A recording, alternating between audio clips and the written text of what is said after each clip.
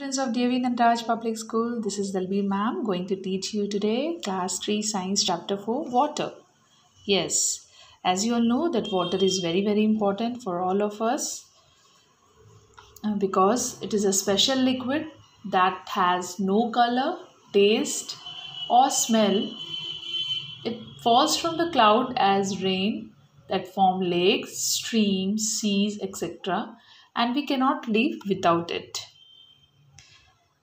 So, let me tell you that today in this chapter we will study about the three states of matter. Yes, the three states of matter are solid, liquid, and gas. As you know, you can see in the picture the first one that this is the ice, it is a solid form of water, liquid, a running water, and a gas. When we heat the water, it form a gas. You can see the evaporation here. Now the three states of matter you can see in this picture it is very clear solid in the ice form liquid water and gas you can see here. When you just put some water in a hot steam iron there you will see the steams gas take getting out of it. So this is a gas so the three states of matter are solid, liquid and gas. Let us now uh, study in explanation in vast that what are the three states of matter. Yes, the forms of water you can see here. What will happen when you put some water in an ice tray and keep it in the fridge? Yes, you all have a fridge at your home. You can just do this experiment also. After some time the water will change into ice. And this process which water changes into ice is called cooling. On cooling is called freezing. Now the another form of water liquid.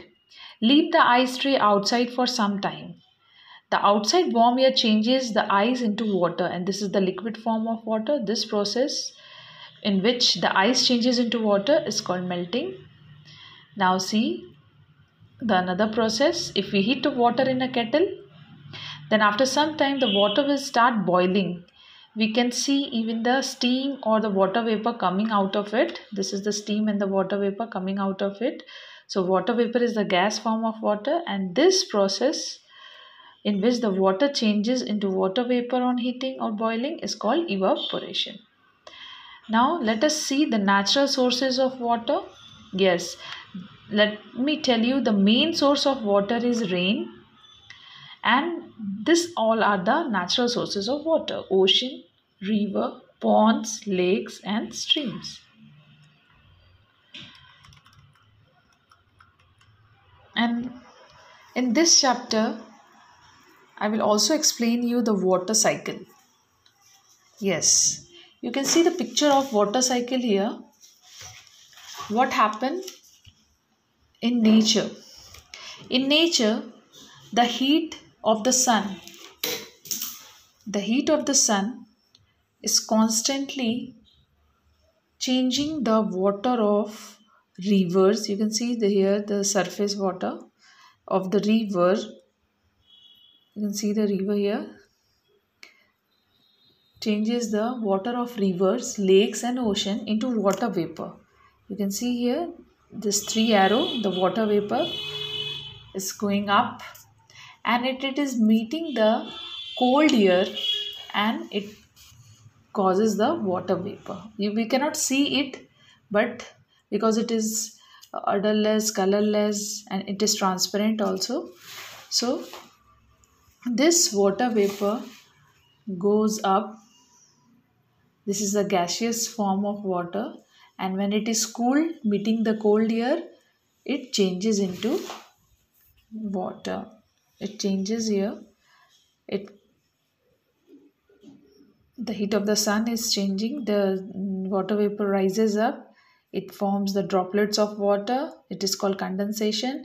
And the cloud is formed and after the cloud is formed it's raining you can see here So evaporation, condensation and precipitation.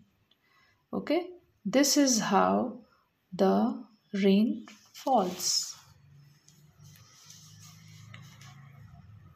The white steam that comes out of pressure cooker or forms over the boiling water is actually the droplets of water. I have seen in the above picture. And in this, the droplets form when the water vapor meets the cold air and cools. In nature, the water vapor rises, meets the cold air and changes into droplets called clouds. You can see the clouds here. And this is how the rain forms. So, in this chapter, what we have studied? Yes, we have studied the three states of matter solid, liquid, and gas, the natural sources of water, the forms of water, and the water cycle. Thank you, students.